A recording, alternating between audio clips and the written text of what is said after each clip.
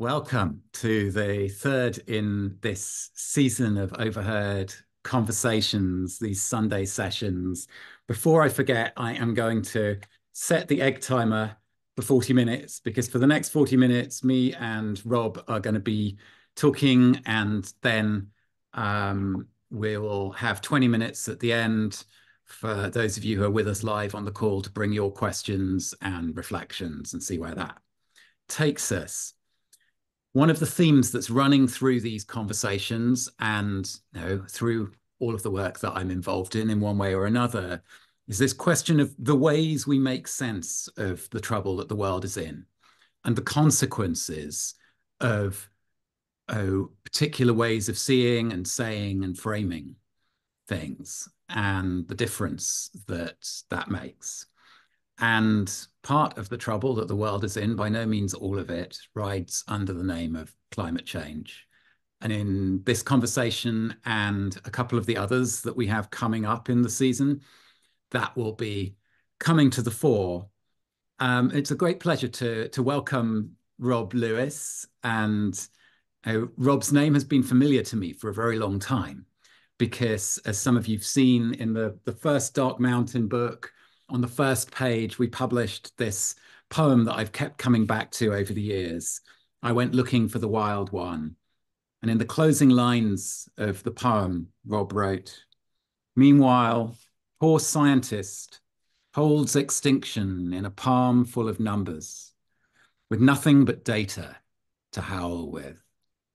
And when I was finishing up uh, my book at work in the ruins, I wrote to Rob to ask for permission to quote from that. And Rob, you said to me, ah, it's kind of funny. I'm not sure I'd give the scientists such an easy ride um, now, based on the work that I've been doing and what I've been looking at, the history of climate science. And so that's kind of the territory we're going to head into tonight. But first, um, I want to ask you just to, to tell me a bit more about where you call home, Rob. Oh, yeah, thank you. Well, it's great to be with you, Dougald, and uh, great to see all of you joining us. Um, yeah, I live on the shores of the Salish Sea, which is uh, a relatively new term for this region. Uh, conventionally speaking, uh, we would be talking about the Strait of Juan de Fuca, which comes in at the northern tier of Washington state between Washington and Canada. And then uh, after it travels inland, it branches south into what's called Puget Sound and north into the Strait of Georgia. But a geographer a few years back uh, decided that we really need to understand this as a single sea, an inland sea, and he came up with the name Salish Sea. And Salish uh, also refers to the Coast Salish people. So it's a way of bringing us all together around this one water body and also recognizing the original inhabitants in one word. And a beautiful word uh, or a beautiful term Salish Sea it just rolls off the tongue. So i'm i'm fortunate to live here. It's a it's a very uh, rich part of the world rich with water which makes it rich with life. Uh, i have uh, you know just beside me at this moment there are migrating waterfowl there are harbor seals on the grass island. We see heron, we see eagles, and all sorts of even sea otters. So it's a place I'm I'm continually in a state of gratitude and relationship with, but also uh, very much aware of the fact that in many ways I shouldn't be here. You know, the Samish people should be here. Uh, where I live was once, they believe, the site of a longhouse that housed 500 people. So to, to keep that, you know, just to have that in mind of where I really am, you know, uh, gives me a lot to think about all the time. Hmm. Thanks, Rob. Thanks for letting us into the layers of the place that you're speaking from and the the layers of history and the the land and the water and there's there's so much there that I feel is in the background of this conversation that I'm curious to to have with you about the history of climate science and the history of ways of making sense of climate change that you've been exploring and the lens that you bring to it as as a poet walking alongside scientists and there are there are parallels between this journey that you've been on and that you are on and the one that led me to write at work in the ruins. But there are also things that i had little awareness of that you've brought to my attention. And i guess maybe a good place to start is just to ask you like, how did you pick up this trail? And that's a good way to put it picking up a trail. I it happened at a conference uh, nearby in port townsend um, the Global Earth Repair Conference in 2019 and a particular workshop, which was called Ecosystem Restoration for Climate. And they had brought in uh, scientists from all around the world to give different parts of this puzzle. And by the time the workshop was over, my understanding of climate had transformed. Uh, I suddenly saw uh, not something in opposition to the, the usual CO2 focused understanding, but something parallel to. And as you've mentioned, the side of climate that's gone missing. And that's a good way to put it. Uh, one scientist uh, in particular really struck me. His name's Millán Millán. And uh, he he's passed, but at the time he would have been around 79, 78. So he'd been around a while. And the story he told was that when he was young in his profession, he perceived a two sided understanding of climate that there was the atmospheric CO2 issue, but there was another issue which science refers to as land change. And uh, he was uh, he did some editing for one of the first climate reports uh, produced in 1970, and uh, his professor had written the chapter or the entire section of this book, which was called um, uh, climatic effects of man-made surface change. And I like, okay, so man-made surface change, we're talking about habitat destruction. We're talking about environmental destruction. We're talking about environmentalism. And, and here this is being presented the unaware of that. Uh, he also had a really interesting uh, way of putting, he was a bit of a poet in that he described his own observation from the place where he lived in the Western Mediterranean basin and what was happening. And we can we can maybe get into this later because this is fairly complicated, but just as a tease, uh, water begets water, soil is the womb, and vegetation is the midwife. So that that was kind of the hook that pulled me in. I was like, oh, there's this is poetic. Uh, this is something much different than I've been uh, exploring, and that that's how I kind of stumbled into this. And then after that, it was just uh, realizing that okay, understand this. I have a lot of work to do. I have a lot of I have a lot of studying to do, a lot of research to do, and I just dove in. And one thing kind of led to another. Uh, but all along, I was driven by the question, why don't we know this? Mm. And that's something I'm still trying to get to the bottom of. Why don't we know this? So let's see if we can draw out this, um, the kind of outlines of this, uh, this history and its implications, because as I've come to understand it from you, what we're talking about is we've ended up with a picture of climate change in which the cause of climate change is described in terms of emissions. And then we kind of carve up of emissions, where they're coming from, the different gases involved. But it's all about the stuff that is being put into the atmosphere. And then we talk about things like forests and ecosystems in terms of the consequences of those atmospheric changes and the ways that those play out. But what what goes missing from this is the extent to which you know, forests, landscapes, ecosystems are not just you know, passive victims of the consequences of a changing climate, the extent to which they are always already involved in creating climates. And oh, the thing that the thing that you heard at that conference that set you on this path was that that used to be part of the story that climate science was telling. And it's yeah. not that that was kind of then proven to be not significant and that's why right. the shape of the story changed. That's not what happened. So just take us a bit further into you know that that earlier era of climate science that people like Millán Millán were um, very kind of central within. Yeah. Yeah. It, it um the notion, the idea that land affects climate is traditional climate understanding.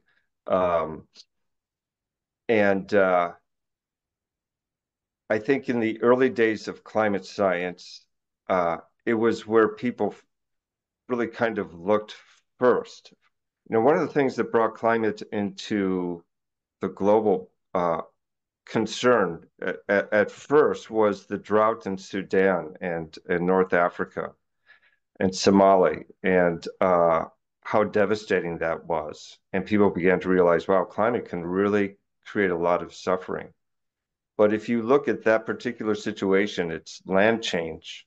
It's the destruction of so of so much uh, rangeland and farmland uh, due to the imposition of modern ways of doing agriculture, also uh, due to a lot of um, land use uh, or efforts by the government to privatize land ownership. And so what happened is a lot of land got degraded. Uh, so this is kind of where this is the milieu where all this got started, and and CO2 claim came into that later.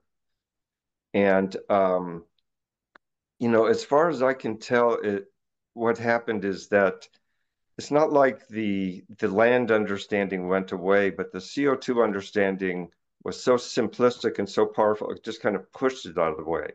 And one of the things I discovered is that prior to the IPCC, which is the Intergovernmental Panel on Climate Change, which is considered the UN body that determines what climate science is, and you know they're they're the the assessors. Prior to that, there was another organization called the International Geosphere Biosphere Program. And this uh, organization was looking at the kinds of things we're talking about the, the coupling between forest and climate and wetlands and climate. And uh, it ended up getting somewhat pushed to the side. It received about 10% of the funding as IPCC. Uh, journalists kind of seemed to ignore it. And then in 2015, it was just quietly shut down.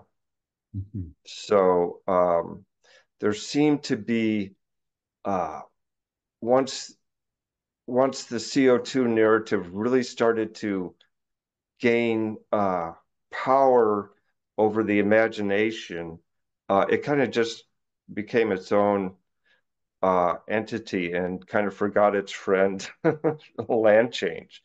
And uh, many scientists are you know, the, the land change side never stopped. Uh, and we've just learned more and more. And it's just, it's a matter of time before we have to bring this other understanding in because it's so critical to everything. So there's a, and one of Millán's images is of there being kind of two legs to, um, to climate change as it was being right. studied in the 70s and 80s and you know the the atmospheric co2 side of it was one leg and the land mm-hmm. change and the active role of ecosystems and land use was the other leg. Maybe it would be helpful to to illuminate this with the specific case from the mediterranean landscapes that he had yes. Yeah. Yes. Story of his and this is where this is where his insight insight of uh, water begets water uh, soil is the womb and vegetation the midwife came in because he had a long history in the Mediterranean tracking pollution. So he understood the atmospheric dynamics really well there. But uh, there were increasing reports of the summer storms dying. And uh, one of the kind of beautiful details of Millán's life is when he was a boy, his father would take him partridge hunting. And his pro- and at one time people used to be kind of uh, lay meteorologists. You know, they would have their own barometric pressure gadgets, and and people used to like to understand climate and how it worked locally. And his dad would show him how the summer storms developed across during the day and how they would form how his father was able to look at the clouds and say, you know, in three hours there will be a storm up in that nest of mountains, and we'll take this route to get home to avoid the rain. And this was something they enjoyed doing. And then it was like 40 years later that the European Commission came to him after he'd become a professional with numerous degrees and asked him to figure out what was happening to those storms because they were dying. And what he discovered is that uh, though there was a daily sea breeze from the Mediterranean Sea bringing in moisture, uh, it wasn't enough to create on down the, the, you know later in the mountains a storm. It needed something else. He called it a carrier component, but it needed to be triggered, and it was the land that traditionally had done that. Uh, Pre-Roman times, the that area was pretty lush. It had vast marshes in the uh, lower plains, and of course the coastal marshes. It had great oak forests. So the sea breeze would come in with a certain amount of moisture and it would travel over the land, pick up more moisture. And then by the time it, it started to travel up the, the hills about 80 kilometers in, inland, it would have all the ingredients to trigger a storm. Then that rain would fall and it would enter the land and replenish the aquifers particularly down in the marshes, and the cycle would begin again. So in the summertime, even though the broader meteorological pa- patterns were, were not bringing rain into the area, the land was. And it was a critical time for the rain. This is one of the problems with uh, the, the, the global modeling is it's all averages. And when you look at climate, it's all timing and place. And you know, life has worked out, you know, wherever it is, these ways of sustaining itself and bringing water to itself because life needs water and water needs life. Mm-hmm. That was the key insight of Millán's understanding is that water begets water, that life is water. A tree is standing water. And in order to have lots of water in your environment, you need not lots of life to, in a sense, milk it from the flows that are going by. And if you take out that life, there's nothing to grab the rain as it goes by. And even though you're right next to a sea, you can dry out. I, I just, you, yeah, go ahead. I want to pause on that because that's an extraordinary image of oh, the, the, the trees, the forests milk the atmosphere. Yeah the atmosphere yeah. not conceived of as a global average, but the atmosphere in a particular place of the air and the wind and the moisture that is passing over this landscape at this moment in the day, at this moment in the year. Right. It, it seems to me that, you know, as soon as you put the land and um, life and water into the center of focus of the story of climate, climate emerges as this astonishing, you know, weave of intricate, intimate interrelation in particular places. And that, you know, having spent a lot of time around the sort of you know, louder public um, gathering places of the interface between climate science and the public sphere, a lot of the time what I see is very much a kind of global dashboard representation where everything is the numbers that give oh. a total global average. The way to put it. And the map of the whole world with these kind of large arrows marking, you know, trade winds and um, ocean currents and so on. And it's not that that's not of this patchwork. It's just that, you know, it's quite a low resolution uh, yes. with those are the things that that occupy the focus. And so you know, this question of like how how did the work that people like Millán were doing get sort of not in any dramatic way, but just gradually pushed to the edges while the CO2 focus and the emissions focus, the atmosphere focus took up the center stage as climate was rising higher and higher on the global political and media agenda has to do with that complexity, as I understand it. Is that right? Mm-hmm. Yes. Yeah. Yeah. You really put your finger on it. and and the conference I'm headed to is called Embracing Nature's Complexity, and that's what these scientists are trying to do. And of course, it's hard to tell a complex argument next to a simple one. And I think people like you and I and, and everyone here knows that. We experience that. We're always up against simplistic narratives, right? And we're the ones saying, yeah, but what about this? You know, what about the subtleties? So for Millán, what's happened with him is uh, he would always say they just can't see it. And he's speaking of the modelers. Because as you said, the models are very broad. They have these wide domains.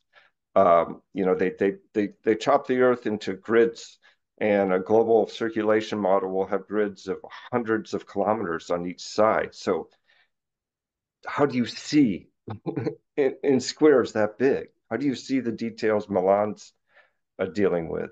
And uh, he was invited to uh, participate in the third IPCC report, and he quit. He's, you know, he said the uh, the modelers couldn't see what I was showing them, but they didn't want to see it it was inconvenient to their work. Uh, and they argued. And he was running an 80 person scientific institute. He didn't have time for it. And he, he also had a pretty short temper. And, uh, you know, you think of science as really congenial, and it is because it needs to be. And everybody needs to, to, to I think, operate within a certain cordiality, you know, and but he had some pretty colorful language for how he felt about being ignored and he felt he never really won that battle kind mm. of hmm. felt like he had failed in the end mm. uh, so another thing that strikes me as i've been you know, following the work that you've been doing is partly because you're a poet you're very attentive to the images the metaphor mm-hmm. and you know, to the extent to which science is always being done with and within images and metaphors. Mm-hmm.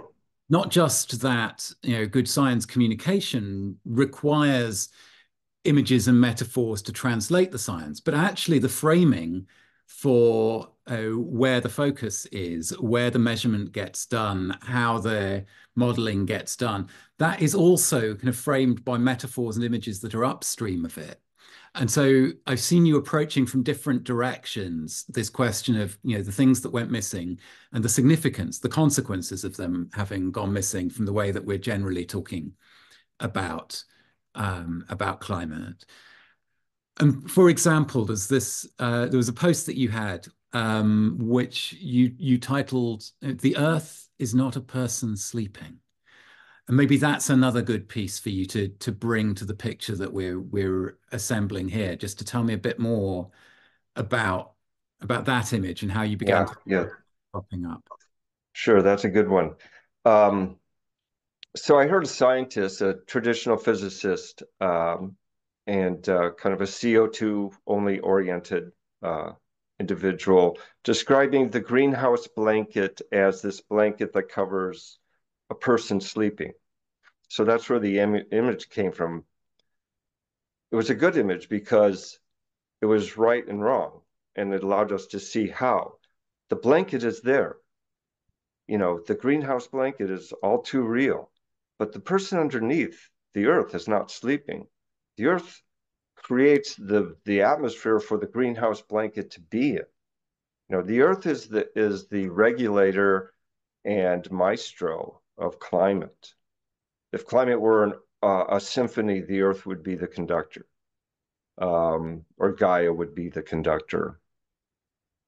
And, and another way to look at this is uh, with arrows of causation. The CO2 model has everything sitting under this atmosphere, which is all determinative, and all the causation comes down from the atmosphere to the ground. But there's another level at which causation is coming up from the ground to the atmosphere. So if you uh, clear cut a forest, you not only immediately heat up and dry out the, that area, you're also affecting the amount of moisture that's traveling downwind to other places. So the way to think of climate is uh, with both arrows, one coming down, one going up, and maybe a circles, you know, uh, Yeah, Yeah, you answered. you pointed out to me that you know there's the the film that got a lot of attention a couple of years back, Don't Look Up, and Right. uh, obviously in the in the film uh, the the the thing that everyone's not looking at is the kind of that's coming and that's going to hit the earth. But actually, you know, part of the part of the power of the image of that title is that it's also pointing up to the atmosphere. But as you Yeah. said to me, you know, actually up is the only direction that we look when we talk about climate. We don't notice the part of it that's here and around us, as well as the part of it that's up there. Yeah. We don't look at the womb and we don't look at the midwives. Yeah. Um, yeah. And and the womb, I love that image for soil because it's not seen. You know, we don't see what's going on there, but what's going on there is so important. You know, like a womb, it it is over time producing uh, the means for life. Um, one thing that uh, healthy soil does is it holds a lot more water, Mm. and um, you know, environments need that water at different times of the year. And without the soil holding it and banking it for uh, the vegetation, things can collapse very quickly. And of course, the the image of uh, vegetation as a midwife delivering, you know, bringing up and delivering that moisture into the atmosphere is also Mm. delightful, and it, it just helps you feel what's what's actually going on around us. Um, I remember after that first session uh, that I mentioned, the conference, uh, looking at this big old maple, and I was kind of like seeing it for the first time. I realized it just wasn't a tree, it was a tree attached to all kinds of other things. It was a tree attached to what was happening under the soil, it was a tree attached to what was happening with water cycles. And um, this is something that has happened with me um, that I mentioned in my last piece, our ecology and climate, the same thing. I started out trying to understand climate, and I ended up in ecology. I ended Mm. up in relationships. Uh, I ended up seeing not just objects or, or things like trees and plants and soil, but what's going on between them that's invisible. And I often wonder if we could see the atmosphere, if we could see the, the heat and how it's being carried by moisture through the atmosphere, we might be floored by the beauty, but it's just something we don't see. So, so we're, we're missing out on this experience of life that is really around us, but uh, kind of kind of hidden. Mm. So I think one thing that happens when whenever we try and have a conversation that is saying, you know, something important is lacking from the way in which climate science is being done or framed or presented is on the one hand, uh, it can be heard as or kind of appropriated by people saying, you know, it's not as bad as they're telling us it is. Um, and precisely because of that, there can also be a kind of tension that comes from the other side of going like, you know, guys, stop muddying the water. This situation is too serious for all of this nuance that you're trying to bring to it. You're just going to confuse people. You know, adding all of this complexity just takes us to a place where you know, we can't get a grip and we need to get a grip really quickly because we've only got a few years to act. And you can hear Yeah, how the kind of the dominant understandable languages of talking about climate change grab onto or just obscure the kind of conversation that we're we're trying to have here. And and part of what I appreciate about the way that you've been working to tell this story is it's really clear, you know, reading your work, um, that you know, there is there is no sense of wanting to play down the depth of the trouble, the urgency of the situation in the way that you're describing it. Like bringing this other side of the, the climate into view is not a, you know, is not a way of lessening our con concern or sense of seriousness. But also, it's not just a kind of um, you know, insignificant addition of nuance. Actually, there are consequences to this stuff having gone missing from the way that we're mostly talking about climate. Um, and I think we probably both have some thoughts about that, but I, am curious to hear more about like, what you see, having been walking yeah. for a few years, as the consequences of this. Yeah, yeah, it's a great question. Um, well, they're complex. Mm-hmm. Uh, they're they're kind of two sided. One is that we're even in bigger trouble than we thought. Mm-hmm. So not only do we have a blanket thickening over the earth, we're destroying the earth's ability to deal with it and to run a climate. And uh, one of the scary things about uh, what scientists who study this are telling us is that a system can shift. You know, you have thresholds where you can damage and damage a system and it will hold up. But then it reaches a point where it can't and it just collapses. And you can go from, you know, a forest to a desert ecosystem. And then you're really in trouble. So that's that's the one side that it it actually makes us realize we're in bigger trouble than we realize. But then there's the other side, which is that we realize we have more power than we thought we did via our landscapes. Uh, when you see the power of a landscape to recreate and uh, regenerate uh, rain cycles, and it's able to do it in just a matter of years, it gives you great hope, real hope, hope founded in, in, in the power of the land.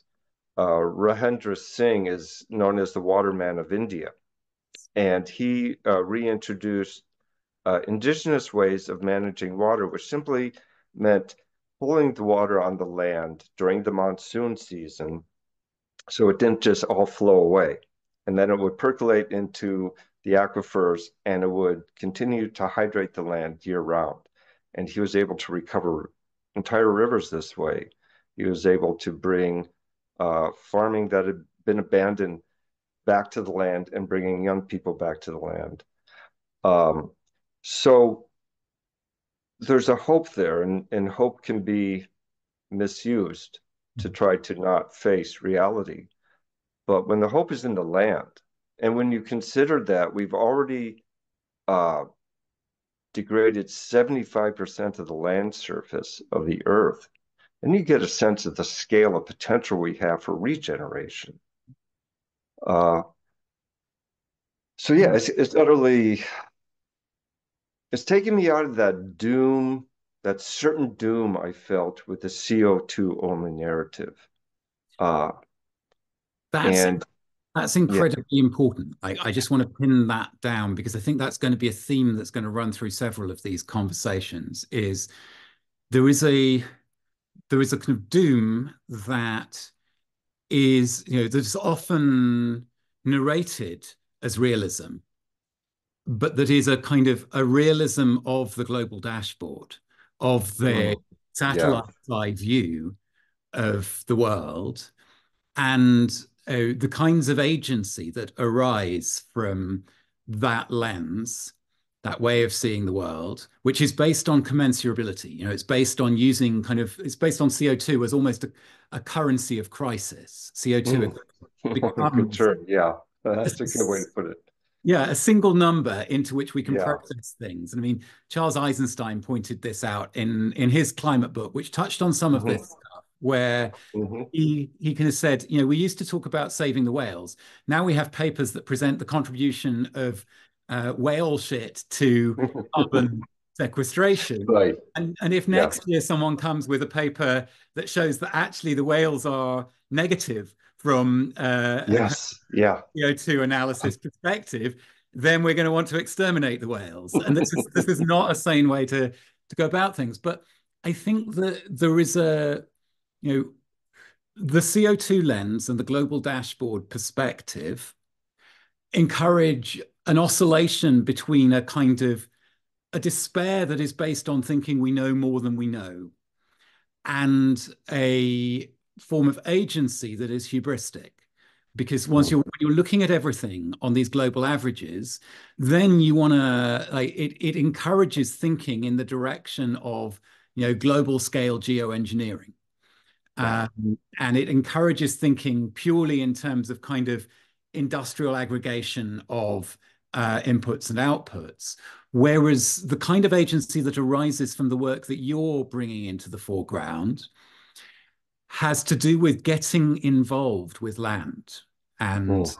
with life and of you know the capacity that humans have and have had and continue to have to show up as contributors to the the life of places and landscapes rather than you know purely as um, as destroyers and i get more and more convinced that you know uh, recovering a story of what it is has been and can be to be human that doesn't simply present us as a plague is, yeah. is, one of the things that environmentalism has failed at and kind of often abandoned, even when it's operating in its hopeful mode, because then it tends towards a technocratic solutionism that still has a very dark picture of human nature written into the core of it. Whereas I think that there is, you know, once we recognize climate as this thing that's intensely local, then the fact that we are as creatures intensely local, we're small, we're limited, we're embodied. Uh, mm of a role and a contribution in the way that the, the big lens can can do.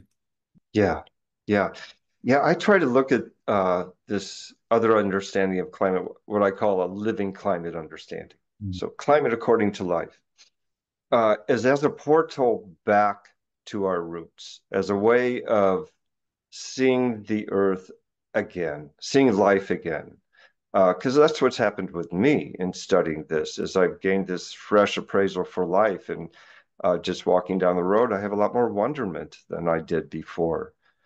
Um, and it's and as you point out the the co2 uh, view is very powerful in the sense that it's taking us out from what seemed to be starting in the early 70s with environmentalism and you know, this call to return to a human relationship with the land. The CO2 only, you know, global dashboard, big computer model takes us almost back to like uh, the the the age of reason, the Enlightenment time when, you know, the Earth is just a bunch of objects that we can manip manipulate with dials. So it it's not just a simple way of looking at climate. It it actually trains our thinking in a direction that we really shouldn't be going. That that one would hope we were leaving behind, not re-entering anew, only on a grander scale. And I think it's you know, it's worth wondering about the the strange compatibility, let's say, between the you know what we've ended up in this conversation calling the, the global dashboard way of seeing and describing climate change that only that, that, that leans on one of the two legs of the earlier work it's that fits an industrial lens yes. yeah. like mentality of an industrial society so in a strange way you know as environmentalism and climate change uh, crept onto the agenda of um, the adults in the room, to use that phrase from the, that Yanis Varoufakis lifts from Christine yeah. that I talk about in At Work in the Ruins. Like as it came onto their agenda, you know, part of what's going on here um, is that you know this way of looking at it fits the way of looking at the world that belongs in those rooms, in those conversations, in those business schools. And mm-hmm. therefore, even though, you know, with good heart and good intentions, you know, the people lifting it forward and, you know, pushing the urgency and the importance of it are trying to call attention to this fundamental crisis arising from an industrial way of inhabiting the world. Nonetheless, it's fallen into a way of describing that crisis that uh, that fosters the sort of the doubling down on industrial oh. logic, which was exactly the you know the thing that was the sort of source of alarm for me, I guess, when I was um, you know starting to write the book. Yeah, yeah, a mechanical way of thinking of climate leads to mechanical solutions, the technological solution, and of course, this is a real conflict for environmentalism.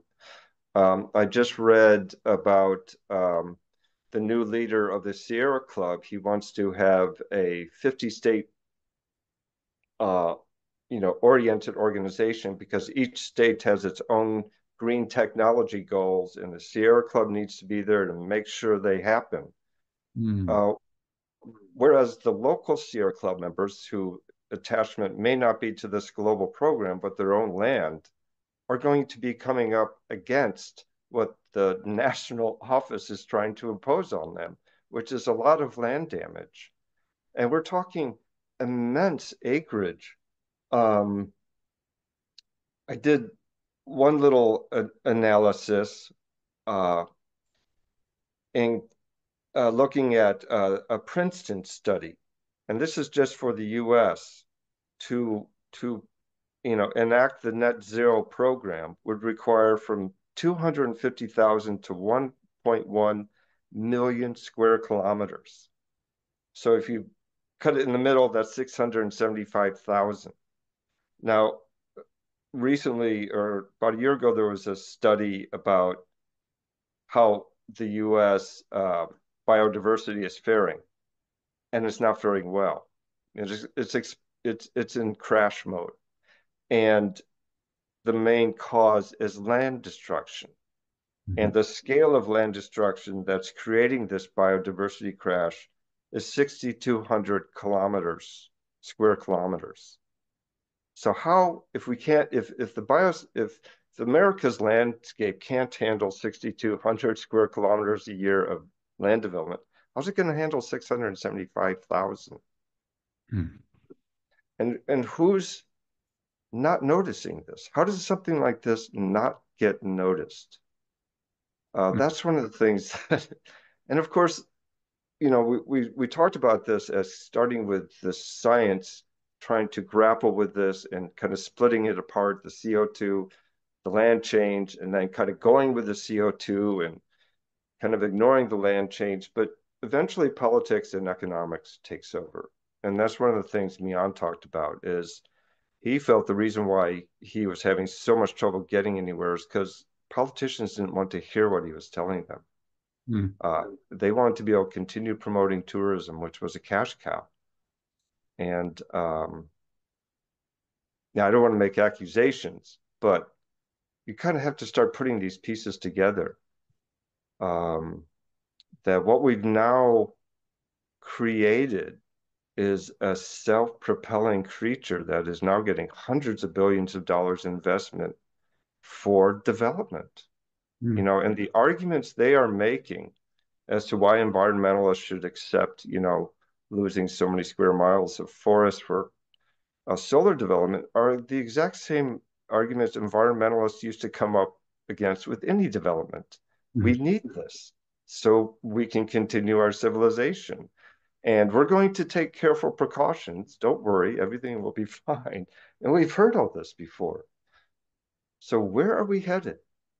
Well, thank you, Rob. Thanks for kind of bringing this trouble to um, to people's attention and you know, putting your words and, and your attentiveness in service of you know not allowing us to get stuck with with convenient simplifications, let's say, right. in the light of what you in light of what you've just been talking about. So at this point, we're going to say farewell to those who are watching the recording mm.